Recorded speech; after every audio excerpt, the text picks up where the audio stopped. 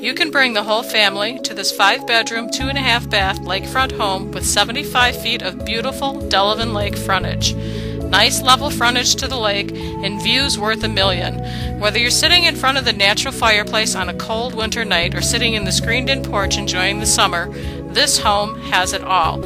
An additional lot across the street is available with a garage. Call today. The lot is 75 by 215. The home was built in 1936. It has gas forced air with window air conditioning. On the main level is the living room, kitchen, two bedrooms, the screened in porch, and a full and half bath. Upper level has three bedrooms and the full bath. Included is the range, dishwasher, and window air conditioning. Call Renae today for more information. Thank you.